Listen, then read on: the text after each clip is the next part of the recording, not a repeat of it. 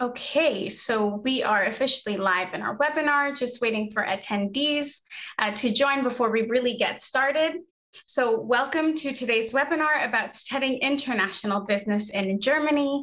You see many faces on your screen today. We have a lot of guest speakers here to talk to you about some different programs. Before we get started, I just want to quickly um, do a little introduction for you so you can see who we have here with us today. Shortly, I'll hand it over to my colleague from my German University, Nino, who will be moderating. Um, but today we have uh, first um, Katharina Ging, who is the International Sales Manager at the Cologne Business School. We have also um, another Katharina, Katharina Günther, and she's the Program Manager um, for the uh, Master of Science in International Finance from Nürtingen Geislingen University. We also have Nikila um, Raghavan, for, who is the Academic Coordinator at the School of Business, Economics and Society at FAU. Erlangen-Nuremberg, and I will tell you all about these universities shortly and where they are if you're wondering. And finally, we have Eva Bleisteiner, who's from the Communications and Marketing uh, Department of the School of Business, Economics and Society at the FAU. We also have with us um, Lizzie Rau, who is also going to be uh, partnering with us today and talking about um, FAU as well. Okay, so before we get started today, I will go ahead and um, say bye to our guest speakers. They're going to be back with us shortly. They each have a presentation for you. Um, if you have questions, though, already start asking them because all of our guest speakers today can see your questions and have access to them. So shortly, I will share the link in the chat section to our first guest speaker for, um, for the program that they're going to talk about. So you can already start looking at the program and getting your questions ready. If you're joining us on Zoom, welcome. You can send your questions using the Q&A function in Zoom, and um, all of our guest speakers and Nino and myself can see them and answer them. And if you're joining us on Facebook, which hopefully shortly will be connected, um, you can do that by leaving a comment below the video. So um, I think, Nino, um, if you are ready, she's going to give us a brief intro about My German University. Hi, everyone. I Jasmine, I wasn't able yet to do it, I'll but try. I'll continue. I'll continue later on. So, um, hello everyone again. Uh, my name is Nino. I'm a team uh, member of my German university already for six months, which has been a great, great experience because we have been helping so many international students to get their way through this education system in Germany. So today I think there is a wonderful lineup of speakers and uh, Jasmine as a host will be um, kind of going through all those speakers and um, giving you a best of the uh, information you will need today. So really, really briefly, I won't take a lot of your time. I will uh, say about um, my German university. First of all, um, it's the largest database of English taught study programs uh, in Germany, and uh, you can use this uh, study finder, which is special and unique, uh, since um, it has all the different filters, and um, with those you can really easily find the best program that suits your requirements and that for which you are um, the one that you are searching because you can filter programs uh, by language. Even for example if you already have IELTS or TOEFL and their grade you can even indicate that. So this will make your search way easier and it's a great opportunity to use. So I really highly recommend using uh, the filters of and like playing around those filters um, when searching for study programs in, in Germany. Um, another very interesting thing about my German university is the uh, articles that we have for international students, and not only uh, because those articles are really comprehensive and they provide uh, very detailed information on different things like living in Germany, about costs, uh, also cities, online studies, rankings, scholarships, UniAssist, and those articles um, are also it's really also important to note that those articles are updated uh, all the time. So you have the newest information possible. And um, the, uh, during the webinars, um, you can get answers to your questions always, but also you can have a look to those articles, and there are more than 70 uh, articles currently on our web page. Another unique thing is our webinars, which are 150 uh, per year, and actually they are in multiple languages, so as the uh, articles, and the webinars are on different subjects. It could be application strategies, COVID update, visa, scholarships, subject webinars, uh, the one you are attending today. Uh, so make sure to uh, register and have an eye on the upcoming webinars because they are really informative and you have a unique chance, for example, today to ask specific questions to the um, representatives of the universities or our colleagues from My German University. So it's a great opportunity. And uh, our team, which is very international, even though the My University is German startup, it's in, based in Hamburg, uh, but the counseling uh, that we provide are in different languages, Spanish, Portuguese, Russian, Italian, and uh, our team members even speak some other languages. So you can ask us in the languages that we do speak, so we can answer your uh, questions. Now I'll not uh, take your time anymore. Uh, I will go behind the scenes answering your questions. Um, and I wish you all very productive webinars. And bye-bye. Thanks for that, Nino. Um, Thank you. So I now will take over and give a very short presentation about um, general studying international business in Germany, how you find a study program, what the programs are like, and um, then I'll hand it over to our guest speakers.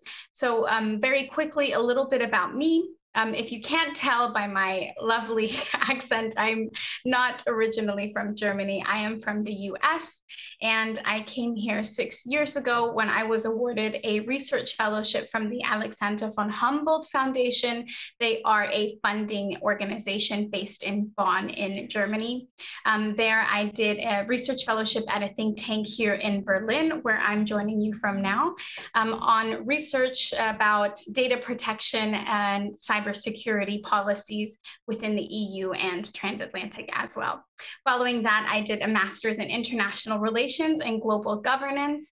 And now I'm helping inform students how they can take a similar path that I did and come to Germany and study and find the perfect study program for themselves. And as Nino mentioned, we are an international team, and um, you can always email us if you have questions in whatever language um, you speak. Um, Spanish is my native language, for example. We host webinars in Spanish, and our articles are also translated to different languages. So, whatever language you're most comfortable with, reach out to us and um, we can see if we can help you. Okay, so without further ado, let's get started going to have a very quick um, five minute presentation about very general studies.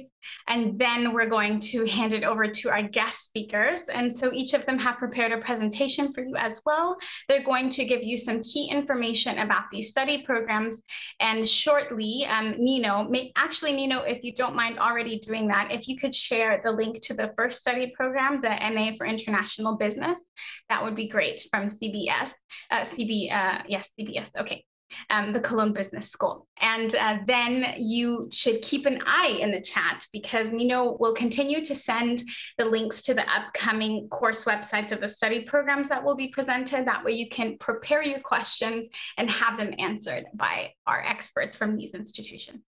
Okay, so first, where do you find a study program?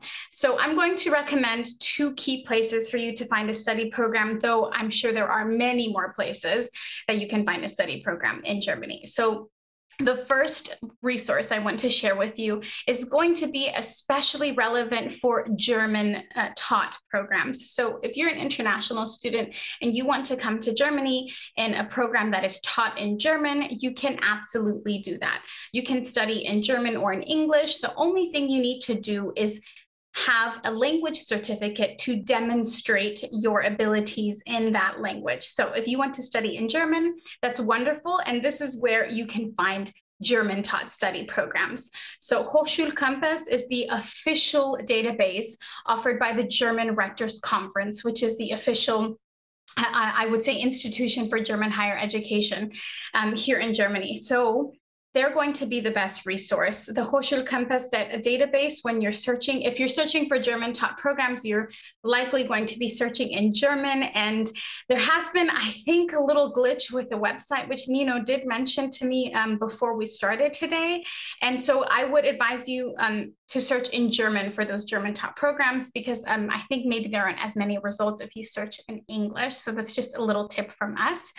But um, this is going to be your best resource if you want to study in German. And you can see here that they have 190 programs for international business, 87 of those in English. Um, if you are looking for studying in a program that is taught in English, then of course I'm going to recommend our database. Just note that there are different ones. The DAAD has one, for example, the um, Hochschulkompass. You can also search for English taught programs. You can feel free to use whichever databases you want. The only reason I recommend ours is because it is the largest and most comprehensive. So we have the most English taught programs on our platform. Um, you can feel free to cross compare them, but um, this is where you'll find the most of them in one place. And you can see here that there are 120 degree programs for international business, 47 bachelors, and 73 masters. Um, note that if you are looking for a program that is only taught in English, make sure you select English only in the filters because there are programs that have a mix of German and English, and we also have those on our platform. So if you're looking for English only, just select that while you're searching. Okay, so uh, our subjects page has a brief overview.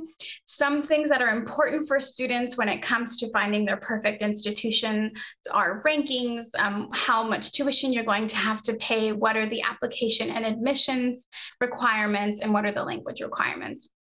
The first thing I want to mention is um, depending on where you're joining us from, rankings when it comes to higher education institutions might be very important and they might not be important at all.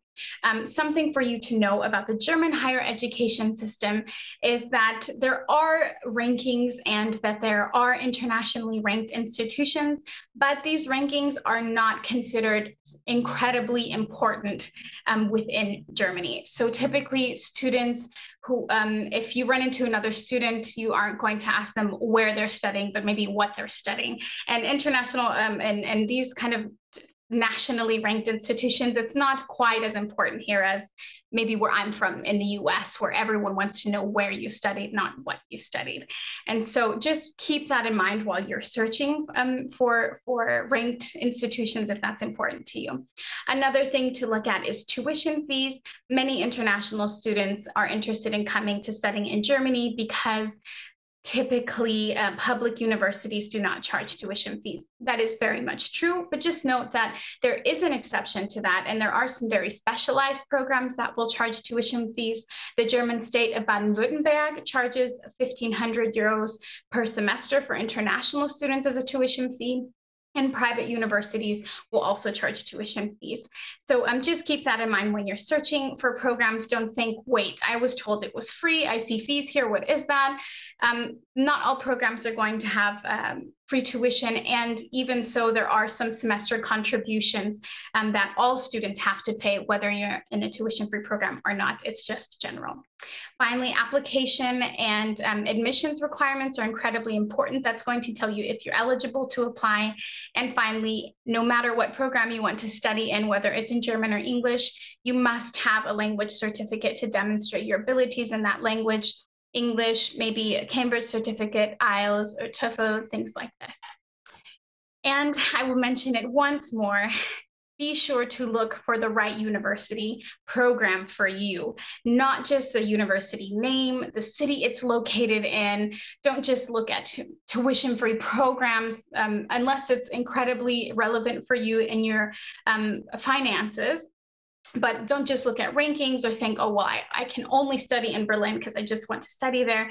Um, keep an open mind. I lived in Berlin for two years and I loved it. Um, I was accepted to a program here at a great, um, at a private university, but ultimately I ended up choosing a different one in a smaller city and I love the experience there. I am back in Berlin now, um, but I wouldn't have changed that. So don't think, okay, well, I have to stay in a city or it has to be this top ranked university. Keep an open mind out and make sure you get the program that's right for you. Okay, So some things to know about the difference in um, universities here. There's generally two different systems. Um, very generally, there's also subcategories. One is there's a university or Universität, and I have some examples of that here, and there's private and public ones. And there's also a Fachhochschule, and there's also private and public um, universities of applied sciences, and I have some examples here just quickly because I want to wrap up so we have enough time for our guest speakers they have some things in common and the only uh, difference is going to be in the learning style you might be looking for. Um, for example, more research intensive programs might be at a university, whereas universities of applied sciences might have more practical uh, based programs that have maybe a traineeship incorporated, something like this. One is not better than the other. So if you're thinking what's going to get me a job, which certificate is better from which place, that doesn't matter. They are equal and you don't have to worry about that. Universities um, have the right to confer um, doctoral programs, but this is changing, and you, many universities of applied sciences have these programs now and partner also with universities to host these programs. So that's something to keep in mind for you. Um, if you're wondering what the difference is, that's the biggest one, and this is also changing a bit, so it won't be quite as relevant. And finally, this is just a brief overview for you as you're searching. Um, make sure to look at the main things for you, which is how long a program is, um, if it charges tuition, and the deadlines. That's the most important part. Okay, so now let's hand it over to our first special guest for today. So we have Katharina Ging from the Cologne Business School. And I add a map just to make sure you know where Cologne is for those students who don't. We have that for each of our programs. I actually lived in Bonn for three months and I love Cologne. I would go every weekend. um, so I'm really happy to have you. So let's hand it over now to Katharina. Thank you so much, Jasmine. Thank you very much for the brief introduction. I think it's um, especially for CBS really important that um, all the participants uh, do know that we do have this public and private university and applied university system in Germany because CBS is one of the private universities of applied science. But I will just share my presentation now um, that you can so, whoop. I hope you can all see my screen now. I will just start the presentation itself. So hopefully, I guess all of you can see my presentation now. So again, thank you so much for, well, firstly, having me today. And secondly, that all of you are participating today to get to know um, not only about Germany and studying in Germany, but different options you're especially having when it comes up to studying international business um, in Germany. So I will just give you a very quick and brief introduction about what it's like to study at CBS International Business School. We're having not only, of course, the International Business Master track, but different tracks but today I'm going to like focus more on what is um, special about studying international business at CBS. So um, just to, to get or to give you an idea what is or who are we, what is CBS International Business School, how many, and just to, to get, get an idea um, what CBS is all about. So as I said already in the beginning, we are a private university of applied science. We are quite small compared to other universities. Just to give you an example, we do have a big uni public university in Cologne, which has, I think, more than 25,000 students. So compared um, to, to this number, of course, we're quite small but cozy i would say so we are having more like a family life going on when you're studying with us and um, I think we are quite young university, again, compared to other public universities in Germany. So we were funded in 1993. Um, and we were one of the first universities in Germany who offered the bachelor and master programs. So in Germany, it changed a couple of years ago so that most of uh, the German programs are now bachelor's and master programs, but it used to be different before. And um, since um, we do have some UK roots. we already started the bachelor and master program right from the beginning at CBS. Um, additionally, we are having a very international focus. So um, 30% of our students are international students. And especially when you're looking on our master program, we do have, um, I would say it's rather 50% of our students are having an international background. So this is making um, studying at CBS quite not unique, but I would say quite diverse, multicultural, and I think it's usually um, yeah a, a, good or active life going on when you're having on, on uh, when you're studying with us on campus. I'm a little bit struggling because currently, of course, we're having a pandemic, so I'm talking about not like about the last year, um, but about what it's like usually studying at CBS. Um, and we do have a main focus when it comes up for um, connecting you to, let's say, the real working life after your studies. So we have a huge network um, with more than 700 companies, starting with startups and going up to the big players like Google or other examples. So there's a wide range, and usually students can have an insight in all of these different kind of, of companies. Um, yeah, since last year, we are having a new name and a new logo and a new branding. Maybe you heard of us before. We used to have the name Cologne Business School and now we are called CBS International Business School. This was because we merged two universities last year to one name and to one university. We used to be a family before, but we had different names. And last year we decided, okay, even before Corona, it made sense to maybe reunite us as one name, as one university. And this is why we're having this no, new slogan, Creating Tomorrow, and our new name, CBS International Business School. Good.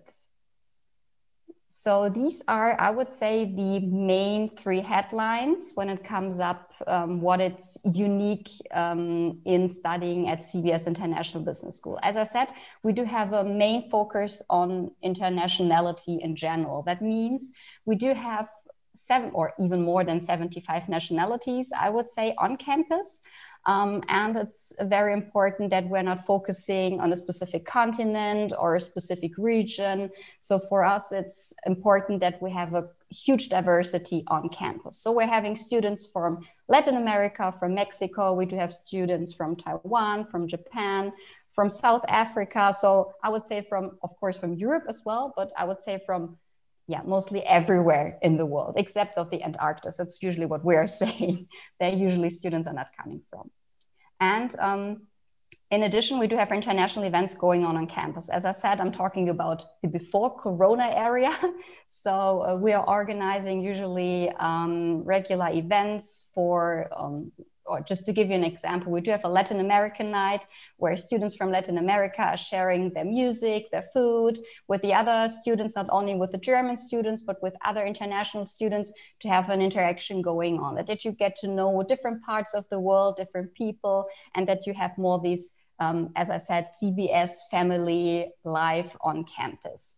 And of course, um, since we're offering English and German taught programs, even if you're deciding to study in an English taught program, you can learn German and we offer German language training. In some of our programs, it's already included um, in the modules and the courses. And in some of our programs, it's not included, but nevertheless, you will still have the chance to attend one of the German language courses. So we're offering different levels starting from the very beginning. So even if you're studying in English, technically you do not need to know one single word in Germany to in German to survive in Germany. That's usually what I'm saying.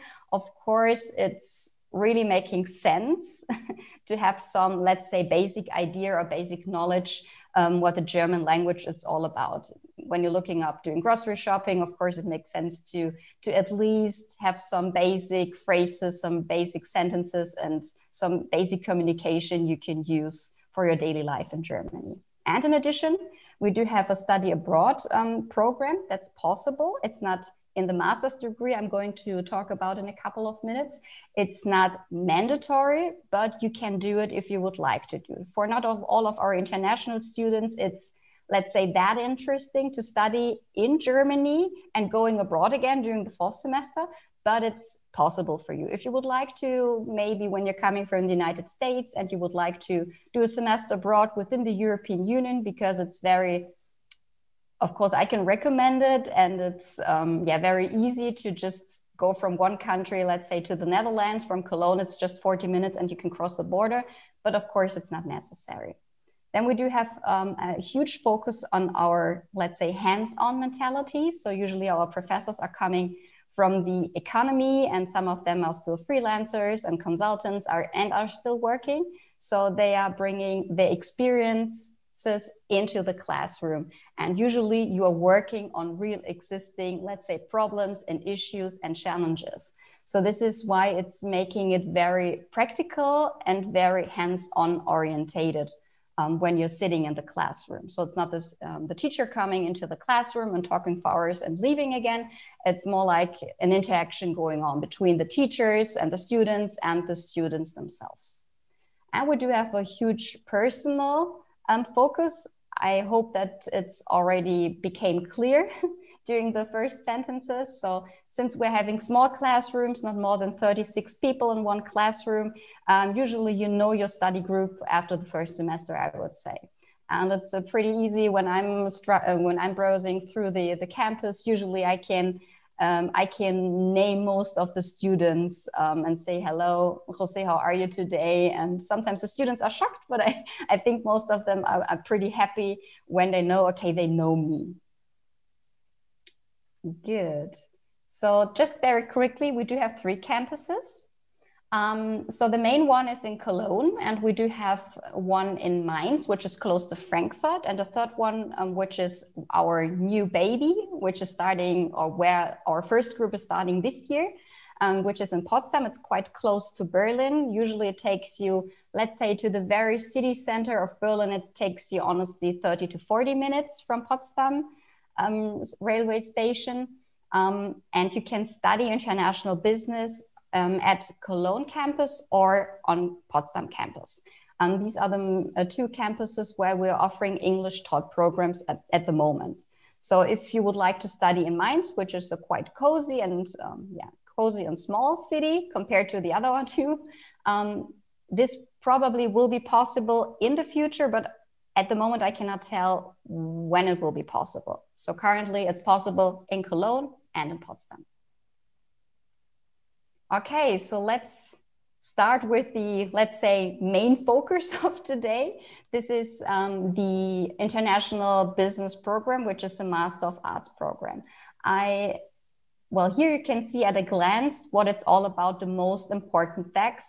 You um, need to know about the study program itself. As I said, we're offering this program on our Cologne and Potsdam campus, and it's a usually ECTS points of 120 program. This is a typical Master of Arts program, um, which takes you four semesters, and after the four, uh, fourth semesters, you will have your master degree certification. So technically, you're having 30 ECTS per semester. You need to, let's say, you need to do.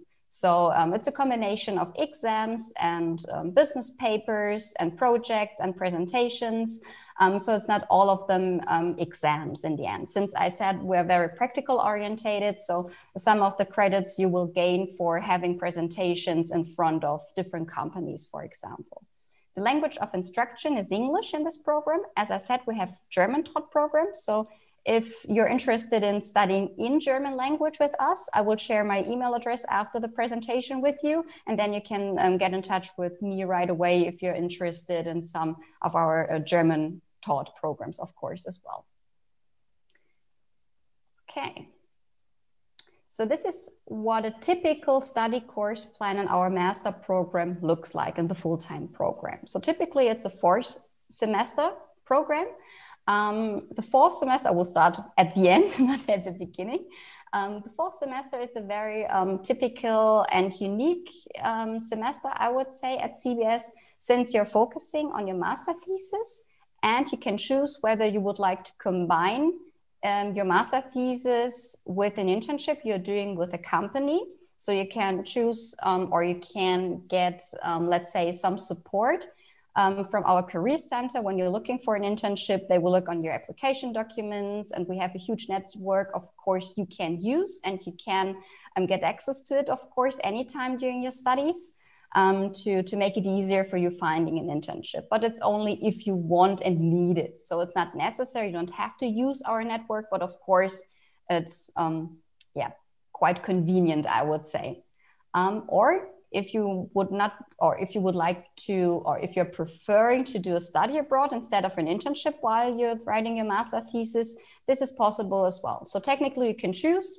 Mm, maybe would do I uh, or do I do an internship and write my thesis, or do a semester abroad with one of the partner universities and write my uh, thesis while being abroad?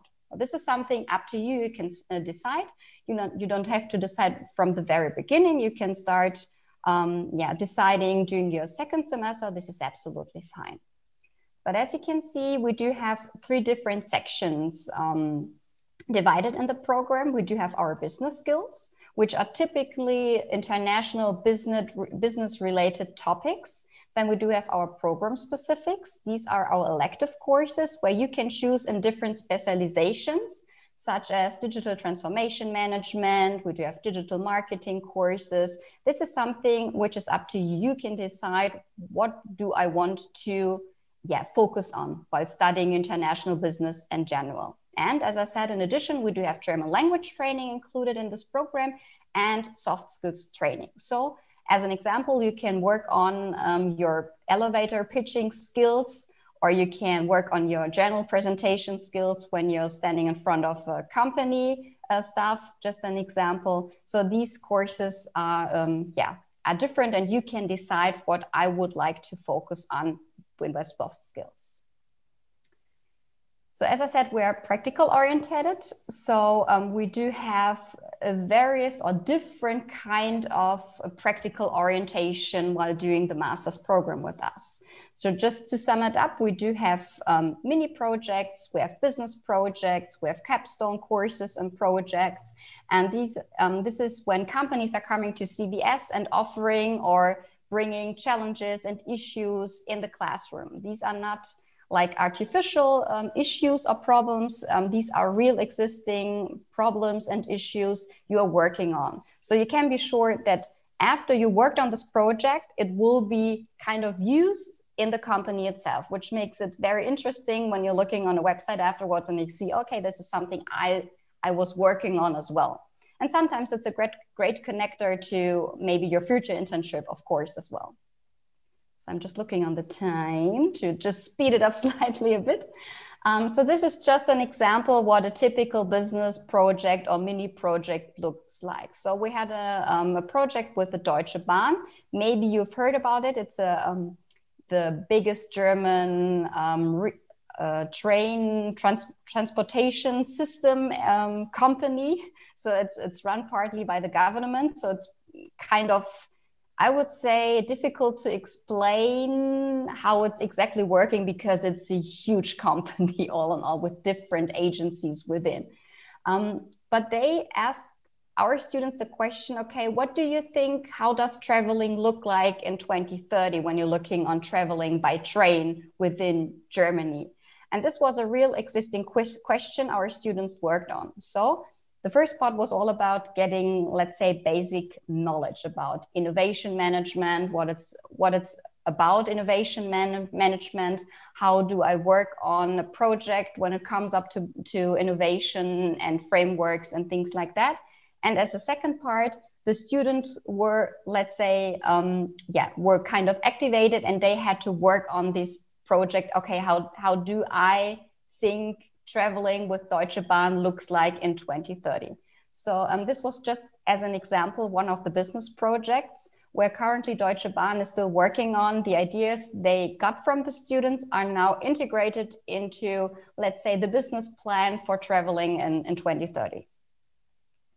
Okay, so I would say if I'm looking in the time, I'm already talking for 15 hours and I'm, I don't want to, let's say, steal time from the other uh, other presenters today, I would say I would just quit it for now and maybe afterwards when you're having questions in regards to our admission process and maybe i can share some let's say information in the chat as well um, just that we're not wasting the time or the time of, of the other participants of course. Thank you so much if you're having any questions you are very welcome to to join the question and answer session afterwards i will be there thank you so much Perfect. Thank you for so much for that, uh, Katharina, and for respecting everyone's time. I also went over Absolutely. two minutes, so it's okay. Thank you so much. And and we can talk about the admissions process also in the Q and A when if students have questions about that. Absolutely. Um, so next, I will um, hand it over to our next presenter for today, um, Katharina Günther, and uh, she's going to talk about the program that we have from Nürtingen-Geislingen. And here again, I have a map of Germany, so you can see where um, the uh, uh, Nürtingen-Geislingen University is for those of you who are not quite as familiar with the German uh, map. So um, I'll hand it over to you. Okay, thank you very much for your introduction and a warm welcome to all of you as well from me. My name is Katharina and I'm the coordinator or program manager of the International Finance Master at the Nürtingen-Geislingen University. So let's first check, I'll try to share my screen so that you see my presentation. I hope everyone sees it. Okay. Yes, everything is good. Okay, great. Thank you. So I'm going to give you first a quick overview of the HFU Nürtingen-Geislingen University.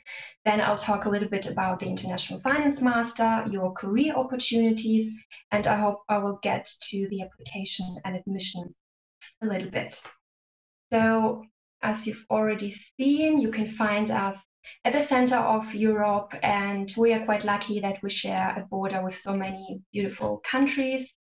And the university itself is situated in the southwest of Germany. And uh, it's really nice that that we are like kind of center and foreign countries are not that, not that far away from us. So let's get some points on our university.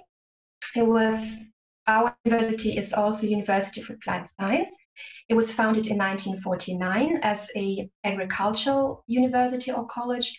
So it was always um, focused on sustainability and nature, but since then it has diversified its options. We have around 5,000 students, of which approximately 300 are international. We have 32 full-time degree programs and 18 part-time degree programs. And um, most of them are quite small. Like, I think one of the largest lecture halls in our faculty building, which is quite new, which is only a couple of years old, is for about 150 students, but that's usually for the bachelor degree. So, especially if you're taking a master course, the group size is not more than 30 students. So, this is really good because you have like interaction, closer interaction with your study group, but also with your professors and with staff um, you are not just a number for us. So this is a really good environment for, for studying. Okay, um, the, the official name of our university, which is also quite important, is Hochschule für Wirtschaft und Umwelt. And that basically translates to University of Applied Science for, for Economics, um, Sustainable Development, and, and uh, Development and Environment. So that means that all of our professors, before they start working for us, have practical experience. But it also means that our university is a local, is a partner for local businesses in the region, but is also rooted in social responsibility and a sustainable development um, for the region. The next one, yeah, we also have a safe study environment for students and we are really close to the Stuttgart metropolitan area. Stuttgart is the capital of Baden-Württemberg, and it's around 30 minutes away by train, so that's really good. So in general, Nürtingen is a small city, it's surrounded by nature, but as you could see on, on the previous slide, um, larger cities and foreign destinies are really not that far away from us. Okay, now let's get to some key facts of our International Finance Master. It was established in 2004 and it's one of the oldest English taught masters in the area of business in Germany. We have three semesters. This is one and a half years and 90 ECTS. ECTS are European credits. It's completely in English. You don't have to have German language skills to start. And around 40 to 50, depends on the year, 40 to 50% of our students are international students. We also start only once a year towards the end of September or beginning of October. And our study group is really small. So officially, we only have 25 study places. And our group is usually 20 to 30 students. So it's it's really a it's really a nice study environment. You do have close interactions with your professors. Um, and recently, the master programs in our faculty, the Faculty of Business Administration and International Finance, which also, includes our master program, received very good grades for its master programs in business studies and the CHE ranking is one of the largest um, evaluations in Germany. So we are we are really happy about that. as Well, now let's take a closer look on how the everyday studies at our university in the master program look like. Well, it's first of all in a application and solution oriented way and in general a more practical approach because as I said before, we are University of Applied Science, so we do focus on that. So for instance, during your lectures, you often um, you're often expected to have your laptop with you. And then students are confronted with topics or with challenges, questions that are coming from the real financial industry, usually in form of case studies and projects. And then students try to solve them with their own models, financial models. They get, of course, help and guidance from the professors, but this is how it usually works. So lectures are often based on, on financial modeling, but this is then, of course, consolidated by learning the theory behind it so that everything is strengthened. So we, we focus not only on practice, but theory is also very important for us. A further specification is that we, we try not to think in sections and divisions, so, for instance, the dean of the master program, who kind of makes the concept for it, Professor um, Dr. Ernst, he usually refers to the master as a house of finance without walls. So that, for instance, um, you have lectures such as portfolio management or bond analysis, company valuation, and students will acquire a toolkit and learn that these topics are interconnected so that stuff you learn in risk management can be applied to equity analysis, and so on. So for us, it's not primarily um, important that students become a risk management specialist or a derivative specialist, but for us, it's important, and students will be able to start in, in various financial sectors. So it means that on the one hand, you will learn the theory, you will learn the standard financial models, you will learn about complete capital markets. But on the other hand, um, we do recognize that we are living in a changing environment, and for us, it's equally important that students learn to um, learn to apply everything on imperfect markets and learn to adopt and work in a changing environment. That's really important as well. So now let's get a more structured view of your modules. Basically, it works like that. You have in your first semester 30 European credits you have four modules and each of the module is divided into two or three lectures. So for instance, you'll have financial modeling, you have strategic management, you have intercultural and conflict management. We cannot stress enough how important it is to have social skills and to be able to work with different kind of people. But you also have designing and publishing empirical research and business studies and so on. So this is the first semester, 30 European credits. The second semester is quite similar in its structure.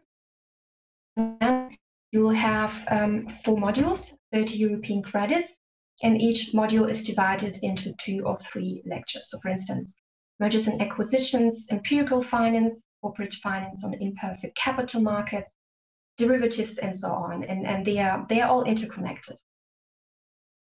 So also what is important, around 60 to 70% of your lectures will be given by full-time professors who are working full-time at our university. And the rest is given by external lecturers who are working outside. So they are working at a company, at a bank, they are working independently, and they will give you an insight into their field of work. This is very important if you are if you are studying at University of Applied Sciences. Now, what is also really important to to mention is that this is a full-time master and uh, it has a really high workload. It's interconnected. There will be group works. You'll have presentations, papers, written exams, and lectures generally expect active participation, preparation. This is more like a seminar. So um, it's really important that you are interested in the topics and that you are willing to participate. But the outcome and everything you learn, I think, or we think that the experience will be worth it. Okay, so now one year has passed. Um, you achieve 60 ECTS after one year with us. And basically, we have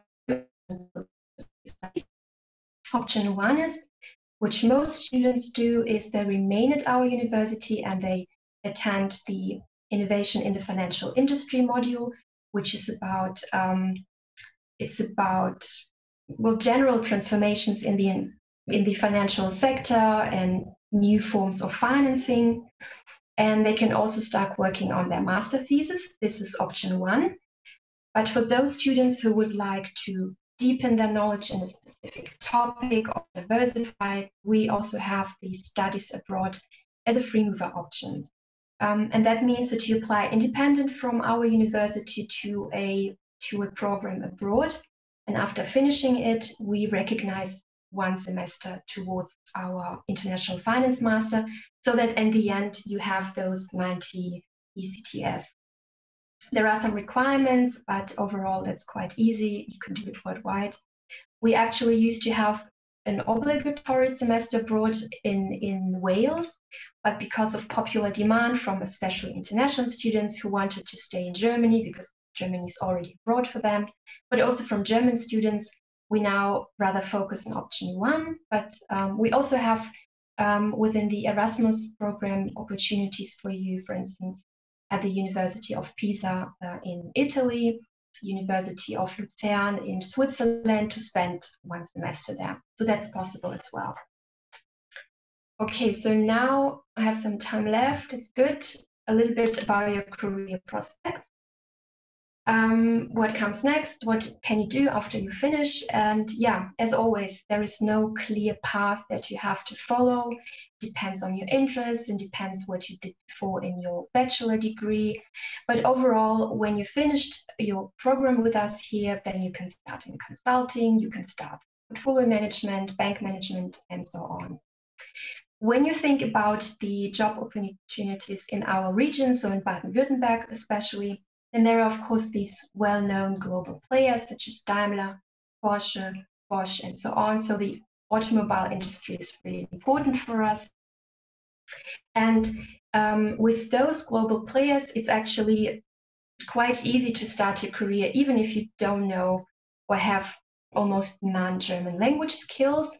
Um, Right now, it's quite difficult to be honest because of the pandemic. But before um, COVID 19, actually, a lot of our students did an internship or started working with Daimler in Bosch in particular. But what we also have in our region are these so called hidden champions. And these hidden champions are mostly small and middle sized companies, and they are not that well known. For instance, because they, um, they have products that are in the manufacturing process and they end up being um, they end up being just part of the end product. So the customer doesn't really see it or they focus on a particular market niche but because they are so specialized usually they are they're dependent on finding customers all around the world. So they also have a demand for students who have who are well educated and who have international experience And I've just mentioned like um, Weinig is, for instance, a world leader in woodworking machines. So again, engineering. Herrenknecht constructs tunneling systems. Karl Storz is a medical device company. We had a lot of those who work in the medical sphere. Or TeamViewer, who is um, it's it's um, it's a software, so to develop the same name software. So as you can see, they are really really diverse. Depends on your interest um, and your background. What is important to mention with the hidden hidden champions or in general small mid-sized companies, for them you usually need good German language skills, but they're actually not that hard to to acquire, especially when you live here. You're surrounded by German speakers. It's actually not that difficult to learn German. And lastly, just some quick points on application and admission deadline 1st of June for everyone. We don't make a distinction. Application via UniAssist and only online. You should have a previous degree in the area of business, business law, economics or management, also English proficiency. B2 level is according to the European Union, and this means that you are independent speaker and that you can speak a little bit more than intermediate, so upper intermediate level. And we also would like you to write a, a declaration of your study motivation, so motivation letter. Fees, yes, we are public university, and usually that means free of charge. But um, yeah, everyone from the European Union or not, everyone has to pay 200 euros administration fees. And then we have a moderate amount of 1,500 per semester for international or non-European students. This is because the state of Baden-Württemberg introduced those tuition fees a couple of years ago, so you will find them throughout um, the state. Okay, I'm, that's all from me. Thank you very much. I, I was able to give you a short insight into our program, and yeah, thank you. Perfect. Thank you so much for your presentation, Katharina. I see that there are actually some questions in the Q&A. So um, if you want to take a look at some of them, um, if not, we can go ahead and hand it over to our next speaker. Again, I just want to quickly just show the map here for those of you who aren't as familiar. So next we have Nikila Radhaven, who's the academic coordinator um, from the School of Business, Economics and Society from FAU Erlangen-Nuremberg. And here you can see on the map where um, that is. And it is in Nuremberg, which is the second most populated city in the state of Bavaria. Most of you know Munich, but you should also know Nuremberg. Okay, go ahead. Yeah, thank you so much for introducing me. Um, I would also be showing a small presentation. So I will just share my um, and hopefully now you should be able to see the presentation in full screen. Um, so as Jasmine already mentioned, um, I am the coordinator for um, the program International Business Studies um, Bachelor's of Science. So, so far you've heard presentations about master degrees, and today now I will be presenting a little bit about one of the English, completely English bachelor programs in international business studies. Um, so I'm from the University Friedrich Alexander uh, University of Erlangen-Nuremberg, and as you saw, it's located um, well about one hour, roughly two hour train ride from uh, from Munich. Um, and we have a lot of big companies around, so you should be aware of Nuremberg. And um, I'm from the Faculty of Business um, and Law. So welcome to today's presentation. Um, so for the agenda, I'll just give you some information about um, our university, and then I'll go into information about the business studies program, and then I'll also give you resources uh, where you can find further information in case you have questions. So um, the university was founded in 1743, um, the FAU University itself. So it's spread, the campuses are spread across Erlangen and Nuremberg. Um, the business faculty is located in Nuremberg, um, and it's one of the biggest universities in northern Bavaria. We have roughly, from all the faculties combined, about 40,000 students and 500 partner universities. Um, so we're very cosmopolitan and international, and we have a very strong research focus. Um, so FAU is um, ranked 14 um, amongst the world's most innovative universities. So as I said, we have a very strong research focus. Specifically about this faculty, um, we have uh, two specific locations, um, and you can see the pictures on the screen. Um, we have about 6,000 students, um, and we have roughly 1,500 graduates each year. Uh, we have we offer a variety of programs with over 20 study programs, and if you know something about German universities, um, they tend to be rather decentralized. So we have 35 chairs, um, which means different departments offering different um, like different focus. Um, so I'm at the chair of international management. There's a chair of global governance. There's a chair of statistics, etc. So really di different chairs. And we're amongst the most diversified. We have one of the most diversified course, offers um, within Germany. Um, something specifically that you that would be of interest to those who are looking also to work part-time while studying is uh, we're located, we're well connected in the region. Um, and that's why a lot of people who are studying um, also have a lot of working student positions, so these part-time working positions um, when they study. And that is good for Nuremberg because we have huge companies like um, Adidas, Schaeffler, Puma, uh, Siemens, um, so a variety of companies, and also a lot of um, medium-sized companies where you can find um, options to just gain some experience um, while you're also studying. So as I mentioned before, we have a lot of partner universities. Um, so WISO specifically has about 140, 140 partner universities um, spread across all the five continents. Um, and we offer diverse ch uh, choice of courses. These are just some examples um, of the universities that we partner up with. This is important to know because as I will explain within our programs is something specifically about the Bachelor of Science in International Business Studies. Um, we, so what you will learn during your study is, um, as you can imagine, it's a business study, so you will learn principle of businesses, so how businesses work, um, and the focus is a lot on international businesses, so not only in Germany or Europe, but more about connecting businesses. As you know, there are a lot of multinational corporations now. So how businesses transact when they're spread across continents. And we'll also learn how to solve international management tasks. Like we have courses such as um, international management itself, case studies in international management, innovation and entrepreneurship, um, human resources management, so you also learn how the transaction and processes within these international companies itself work. One thing very specific and unique about our program is um, we offer intercultural competence.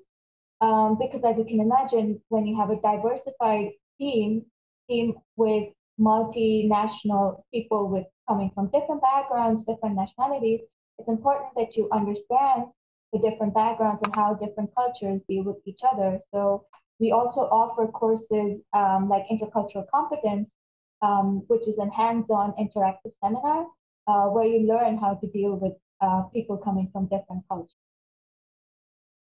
Specifically about this program, um, you will, there are courses designed specifically for uh, the International Business Studies program, and that means these courses are exclusive to the program, so it's a smaller group of people, and um, you will have more individual attention, more opportunity for interaction with the lecturers, professors, and tutors, um, and you'll just have like a close connected group with your peers. So um, this is something unique about this program. Also, um, as I mentioned, we have a lot of partner universities, and this is because within the program, uh, you have to do a uh, mandatory semester abroad. So you will go to one of our partner universities and you'll be able to um, take part in different courses, learn about the new culture, um, and learn about a new language, maybe get to know people. Um, so this is one unique aspect of our program. Another thing is this is one of the few programs within Germany where all the courses are offered completely in English. So as a bachelor program to be offered completely in English, um, I don't know if there are that many options currently in Germany, but this is one of the options where you, you have the op- where you will study all the courses completely in English. Um, another unique thing is you will learn two languages, um, so at least one new language, and the other language you have the opportunity to increase your current competence within the language. As I mentioned, you have a wide range of electives, and we do a lot of interdisciplinary work. Um, as I said, this includes, we have, this includes, we have here, you see an overview of how you do the different, how the study program is split. Um, there are three main parts. So interdisciplinary um, is, for instance, you not only learn about business, but you also learn about statistics, about economics, and within it, the electives, you have the option to learn about law. Um, so it's really spread across different interests with a primary focus on business, of course. So you have obligatory courses. Um, for instance, you learn about cause and effects of international trade. As I already mentioned, you have a specific course in intercultural competence. Um, but you also have supplementary courses. Um, and, the, within these electives, you're free to choose among any among the faculties here, whichever course you'd like to do. And you have a mandatory semester abroad. Um, you also have 40 ECTS.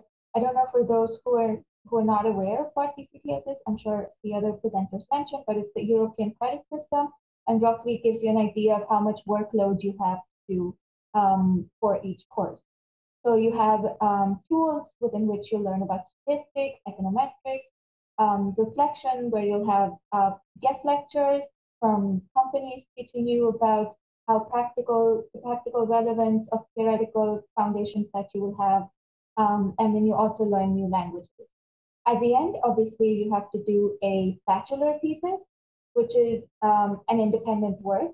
So based on everything that you learned throughout the five semesters, um, you will have to apply to a thesis, um, and it's an independent work. And um, you will come up, you, for instance, you can, one of the topics could be policy implications, um, or other scientific questions about how multinational corporations deal with foreign direct investments. Um, so it can be a range of topics that you choose uh, based on what you have studied so far. And that is how the program itself works.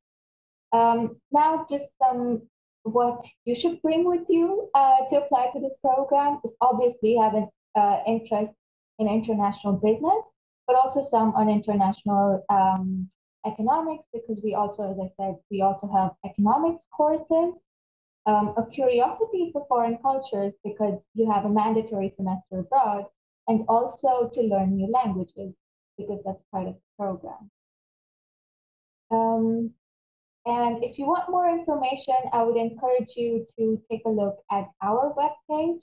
And also in the chat, you can see um, Nino sent a webpage to um, a link to a webpage where you can find the link to this webpage and you can find all necessary information in there. Um, in case you want to specifically contact me, um, here is my email address.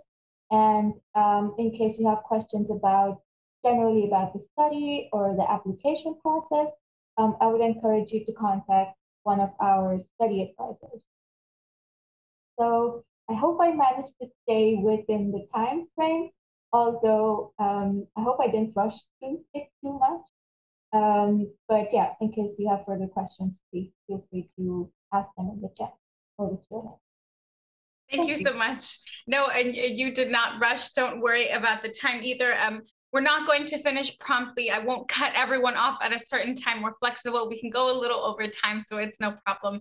Um, but just to respect the other speakers' time, thank you so much. All of you have been great with kind of monitor monitoring that. Um, okay, so without further ado, I'll hand it over now to our last guest speaker, also um, from the same institution, from the same university. And um, she's actually had a webinar with us before. So maybe you recognize her if you've seen our last, um, our, our subject webinar. So we have Eva Bleisteiner, um, and she's going to be talking about the Bachelor in International Economic Studies um, from FAU Erlangen-Nuremberg. And um, Nikila made a really great point. Um, so for students who are watching and are interested in bachelor's programs, Bachelor's programs taught completely in English in Germany are a little more um, difficult to come by than uh, graduate studies.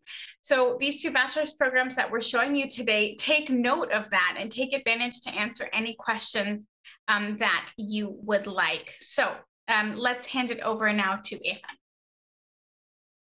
Thank you very much, Jasmine, for this nice introduction.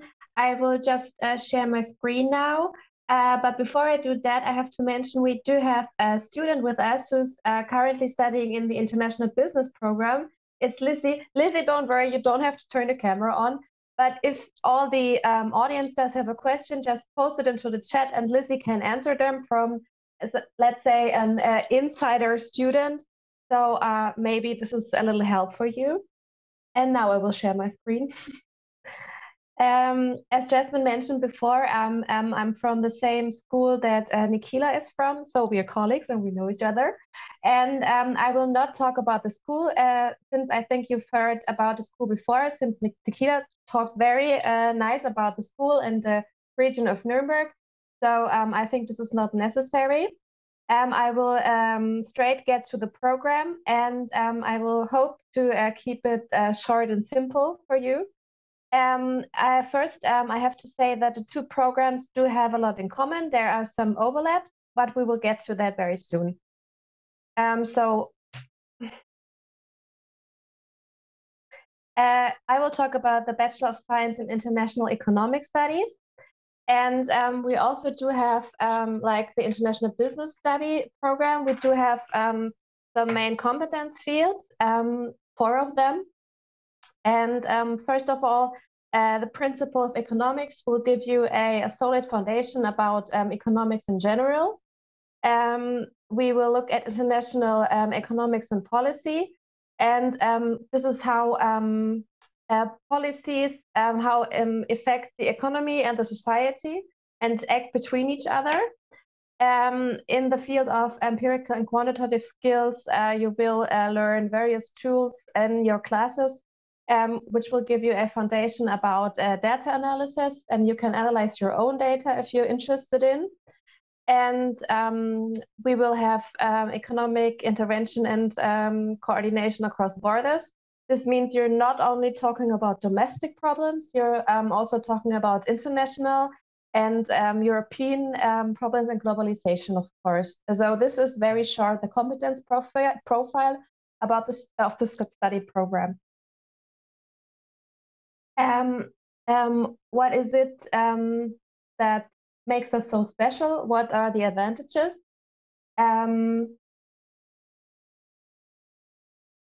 Sorry, I think my screen just sort of broke. are you able to see to see my screen? Jasmine, can you just tell me? Yes. Because okay, perfect. See, Sorry. What are the advantages of the IES? Program? I don't know, but because my my screen says uh, it stopped, but if you see it, oh then no, I, I don't know it. why. So, I see thank it. you very much. Yeah. Um. Anyway, uh, we, as uh, Nikila already mentioned, we are one of or we are one of the uh, very few uh, programs that are um taught fully in English. So if you start with us, um, it's not necessary to have German skills. It's uh, nice to have, but it's not necessary. And um, we also have uh, the advantage you can uh, learn at least one new language. You have one language advanced, which is more, and you have one other. And we have a very broad uh, field of languages you can learn with us. And we have a wide range of electives. So you can um, pick off from all the 45 chairs we do have at our school, can pick electives. We do have uh, interdisciplinary coursework. That means you don't only meet uh, people from your study program, you also meet people who study, let's say, um, just uh, international business or maybe information systems and so on. And we have courses that are who, who which are specifically for the II, IES program. That means you have small classes. You only have 30 people around you, and you can get into with your peers into interaction and discussions and so on. And also, we do have a compulsory semester abroad, and um, we have 140 partner university all around the globe. And this is also a very unique experience, I would say. So um, if we just check out how exactly does it look like. So you have compulsory courses, which um, are um, 80 ECTS. This means, as I mentioned before, basic principles of economics and business administrations, and of course, these empirical methods and data analysis, and also um, social, political, and legislative aspects of globalization, which is also compulsory for you. And we have the um, we have some electives as well, as I mentioned. Um, we have a 45 to study abroad. This means if you go to your semester abroad, you have to um, take at least 20 ECTS, but it's your you are free uh, which classes you will choose. That means you get you um, talk to your coordinator which classes you are willing to take, and you can specif- um, specialize yourself while doing your semester abroad.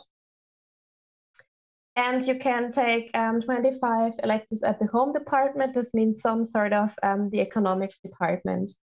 And you have 40 ECTS, um, which is 15 is tools. This means, as I already mentioned, uh, statistics and um, um, so on.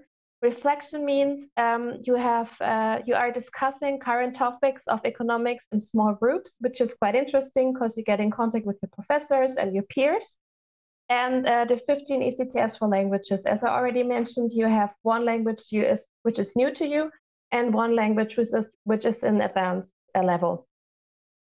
And if you finish your study program, uh, you will write your bachelor thesis, uh, which is um, an independent work on a given pro problem, and this is worth 15 ECTS.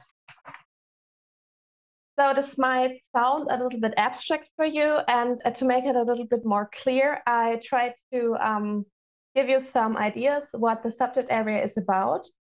And I have some examples for possible questions that will be answered within the fields. So for international economics, um, you will learn how the economy works.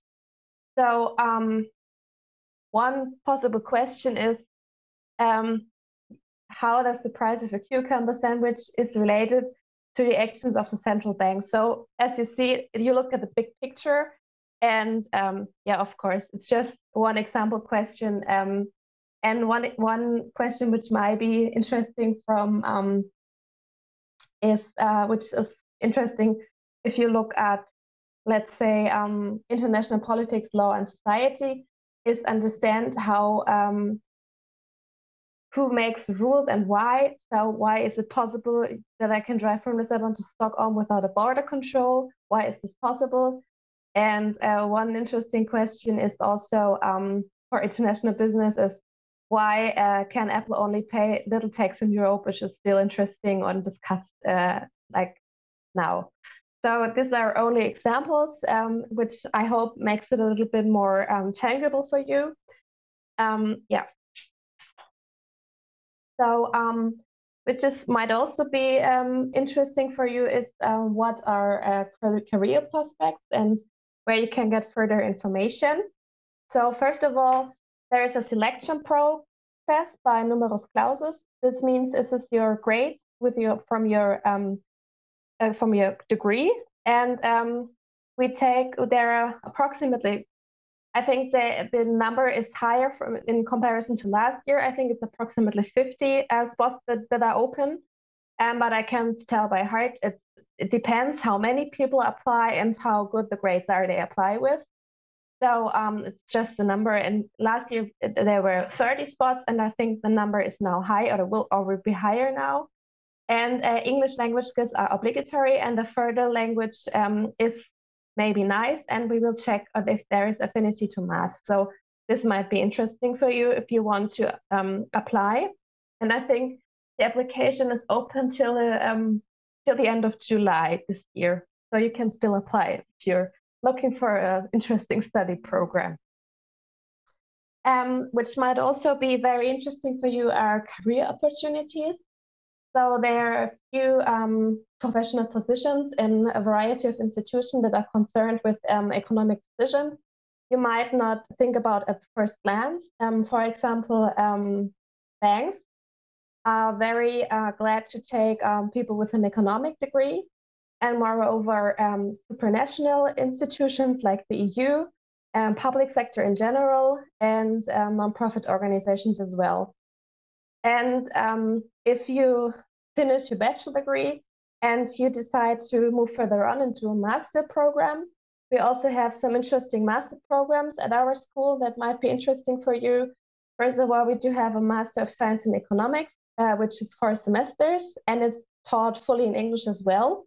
And it has its main focus on labor and public economies, health, and energy markets.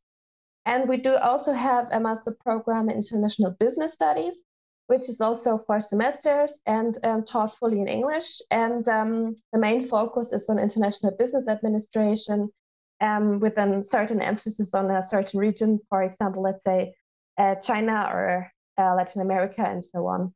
So this might also be interesting for you. And we also do have a web page. So if you're interested, you can check this out. And I think it's already in the chat. So just take a look at the web page. And if you do have specific questions concerning uh, the content of the study program, you can ask the um, regarding the program structure and here on, you can ask the coordinator Maximilian Pöhnlein, who can unfortunately not be here today, but I'm stepping in for him you can ask him and they do have general question about the application process and time and so on. You can ask our um, student advice service, which would be Bianca Dissler and Susanne Heinrich, and they can give you some advice on um, how to apply to the programs. And I would be very happy if I will see some of you um, in this fall already in Nuremberg and with our very interesting study programs. And I thank you very much for your attention. And if there's still any questions, just post it into the chat. Um, we will try to answer them. Thank you very much for your attention.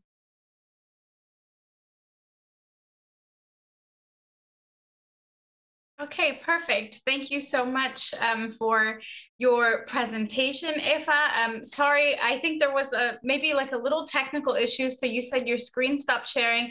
I could see your slideshow the whole time, and on Facebook we could also see it. We checked, but I think some people couldn't see it. Some people saw a black screen. I saw everything. So I think maybe some people saw everything and some people didn't. Mm-hmm. But it's no problem. Um, again, the content and uh, what you're saying to us is the most important part. Thank so, you. Yeah, so I, I want to start the the Q&A session now. We have had a lot of questions. It's great. So far, we have 38 answered questions, and we still have four sitting here.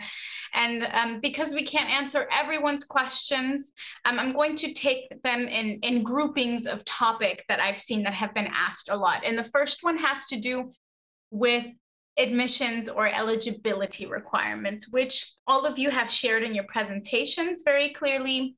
And um, it is also on the course websites of the programs that we shared in the chat section, but students still have questions. So I think I will just mention to students that when it comes to eligibility requirements, this is pretty um, pretty strict. So um, I mean, in not just in Germany, but generally, but especially in Germany, this is not going to be very flexible. If you need um, maybe a certain level um, on on like a certain IELTS score or TOEFL score, um, it, it's strict. So if you want to apply anyways, even though you don't meet these qualifications, you might be wasting your time.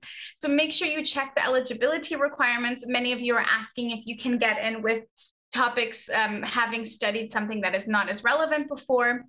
So when it comes to the previous degree, um, for example, one of the presentations said that it's really important to have social skills and to have kind of, um, I won't say customer service skills, but I'll just say kind of like business correspondence skills. And maybe a more relevant degree in a previous degree will be important for that. When it comes to the previous degree requirement, also for bachelor's, um, this is especially a question for the two bachelor's programs when it comes to course module requirements. is it really is it flexible if students can demonstrate that even though I don't have um, a prior education in in business or in economics or anything like this, how flexible is it for students to maybe demonstrate that they have the sufficient skills or adequate skills to partake in the bachelor's program, for example? Either one of you can answer. Um, I'm directing it to the two bachelor's programs. Or the master's programs, you can also answer. Previous degree, what's important? I think actually it's uh, hard to answer because um, the selection process is um, only based on the numerus clausus, the first yeah. um, thing we're looking at.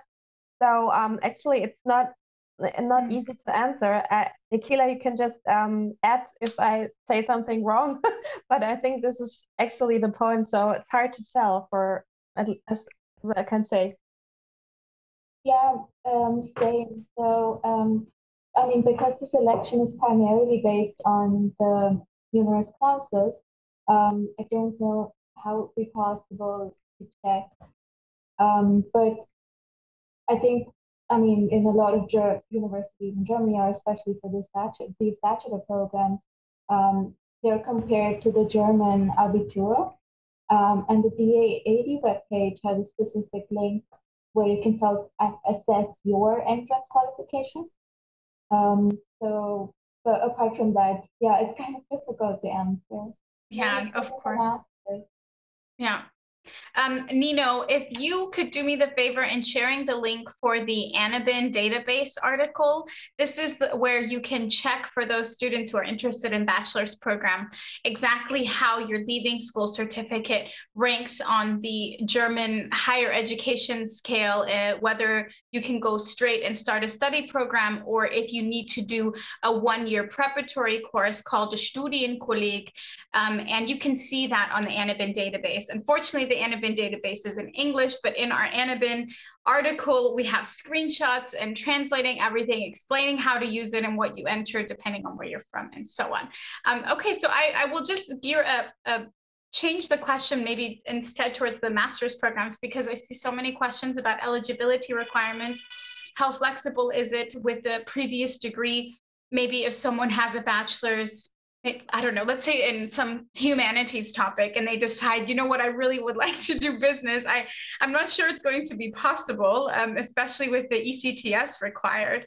Um, but if they can demonstrate that they have the skills, if they explain it well in some internship, I'm not sure how flexible is that. Yeah, maybe, well, I will just quickly start to answer the question. Um, since we're kind of, well, we're a private public university, uh, not, not a public university, a private university. Um, so we do have our, let's say, own criteria, which are somehow sometimes more or seem to be more flexible um, compared to the public universities. So for us, it's most important that we do have, of course, a first academic business related qualification with a minimum of 180 ECTS. That means um, just as an example, if you're coming from, let's say, a different section, when you're when you, for example, studied tourism, which is somehow business but not really international business related uh, topics, um, we do need to to see that um, the student had at least 30 ECTS during the bachelor's degree um, related to economic topics. So what we're doing is we're checking every transcript, transcript of records, and then we will see if we can find um, 30 ECTS related economic topic points. I don't know if that makes sense, but this is this is what we're usually doing. And in case if we cannot find these or if the 30 ECTS are missing, is that we are offering kind of a pre um, semester program where you or where the student is gaining the missing knowledge, the missing 30 ECTS in uh, three to four months in advance, so that the student can get started right away with the, the master program afterwards. So this is what we are doing at CBS. Uh, maybe just some points for me and for us. It's important that you have a bachelor degree in in management and finance, and that's actually for the benefit of the student because we just made the experience that it's too difficult. We are master of science, so we we do focus on quantitative finance research. So it's too difficult for students. What we have is the opportunity, we have an international management MBA at our university, and this is open for everyone. So it doesn't depend what bachelor degree you have. And a certain amount of the students, if they can prove that they are qualified, can then do a double degree with us. So this is an opportunity, but you, you definitely need like good basics in in in business or management. So it's not it's too difficult for students if they studied chemistry or engineering. This it's really just too difficult for them. But there is the opportunity to do the international management and then if they still want to switch to do a double degree with us. Okay. Yeah. I yeah, I'm glad um that you could both clarify that because I think some students think like, oh well, maybe if I just tell them like, but actually I have these skills and I think it's different. You really have to be able to kind of demonstrate um, whether it's some sort of certificate, your leaving school certificate, the ECTS, and so on. These course modules. It's very important. Okay. So to our next question. Um, it's about employability. I see many students asking questions about job prospects after graduation. So I will start off by saying that any student that graduates from a German institution has a right to an 18 month visa where they can search for a job. And the key part is it has to be a job within your field. So um, you can't finish your program and I don't know, get a job as a barista and think, perfect, now I'll get a work visa. It doesn't really work that way unless you went to some technical school to do exactly that. Um, that's not really how it works. It has to be in your field and you have to prove that it is relevant to what you studied and, and what you do. Um, when it comes to employability, many of uh, the presentations today featured maybe some partner companies, especially when it comes to these big global players in, in Bavaria, for example, and also in Baden-Württemberg. Um, when it comes to employability, maybe I'm sure you don't have off the top of your head the percentage of students who, I don't know, find employment within six months or something like this. But maybe if you could speak to that a little bit, um, the types of job opportunities, some of them were mentioned um, and, and shown in the presentations, but just to come back on that, just because we have so many questions about finding a job, if um, anyone wants to give some light on that maybe I'll I'll just start. um, yeah, as I already mentioned, uh, Baden-Württemberg is kind of known, at least within Germany, as somehow a powerhouse. So um, uh, right now it's really difficult to tell. We have a pandemic, really really difficult to tell. But prior to the pandemic, I would say. Um, 80 to 90% could find something. And as I said in my presentation, a lot of our students worked in the larger ones because not everyone like had the German language skills. We don't have a compulsory internship at our program. So that's why we can't offer you like definitely a list where you can get a place. But what a lot of our students did prior to the um, pandemic, and even now some of them got it, they can take a semester academic leave of absence and they can do an internship and a lot of our students did that and for instance some of them also wrote like a master thesis with the company and then they got like straight away a job. So um, you it depends on your background it depends how well your german skills are then your opportunities are much much higher because we do have a lot of middle-sized companies that are not well known but um, you do have really good chances for that.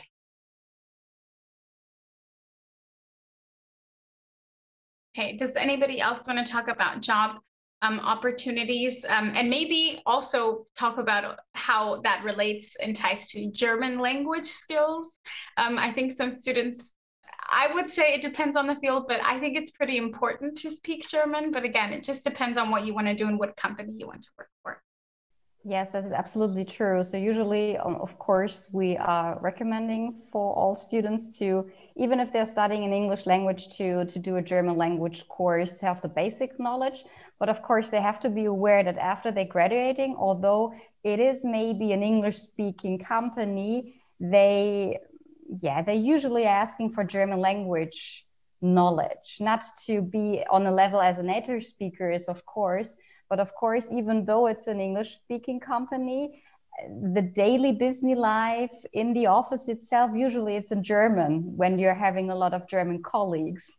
So I think it's just as well, let's say, a personal thing just to to to be aware that even if you're working in English level uh, in English language and writing emails in English and communicating with clients in English, maybe your colleagues are mostly from Germany and they're speaking German. So um, this is something usually the foreign nationals offices are asking for when it comes up for um, a blue card, for example. So I think um, you should have a B1 level when you're looking for a job in Germany. So you don't have to be a C1 level or native speaker level, but to have a conversation going on, like uh, like let's say a real life talk going on. I think this is important that that you have this this knowledge. You don't have to be perfect, but you should be you should be prepared that you're not like surviving just speaking in english if you would like to stay in germany for a longer period so this is just my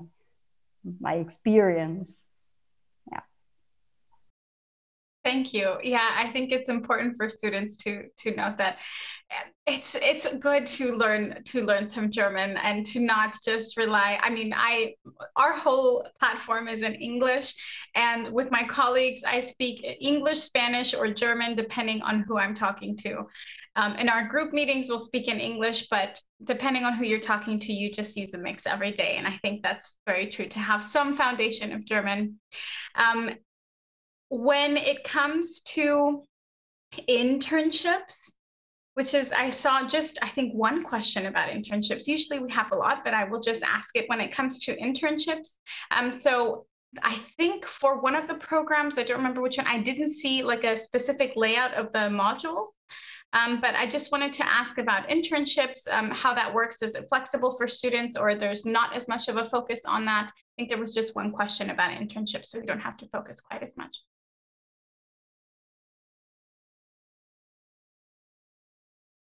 I'm not quite sure. I I can. I mean, I have already said a little bit. Maybe again, um, we are well. As I said, it's not compulsory, but a lot of students do that. Right now, it's quite difficult, but still possible. And I mean, the pandemic will be over. Will be some point will be fine again. In we are quite um, flexible, I would say, and most students, what I would advise for them um, is, for instance, when they finish basically everything and only their master thesis is open, so this is the only thing they still have to do, then I always recommend to take a semester of leave because then they don't have to pay those 1,500 euros, only the administration fees, and then one semester at a company like Daimler or Bosch. So we are really flexible for um, with that. I think in general, public universities, you, you are allowed to take up to two semesters of leave and what some of our students did, for instance, they took two. They did one semester intense German language course, and in the second semester they um, did an internship, and then they wrote their master thesis and maybe started even in the company they they did an internship in. So this is something, for instance, if the student can can afford it, I would definitely recommend. And if you have a semester of leave, um, you don't need to pay the tuition fees of 1,500. So yeah. Okay. Um, and I want to, um, I think not end the webinar just yet, but just with one last question, which is um, I saw some questions about um, fees, tuition fees, and scholarships. And this is um, a really relevant topic for most students that are interested. Um, I do mention, and I still think that you should still not focus on tuition free programs and look for the program that is right for you. Um, again, we did mention earlier, we talked about Baden-Württemberg. It's just a marginal tuition fee. I say marginal, I know it's still 1,500 euros per semester.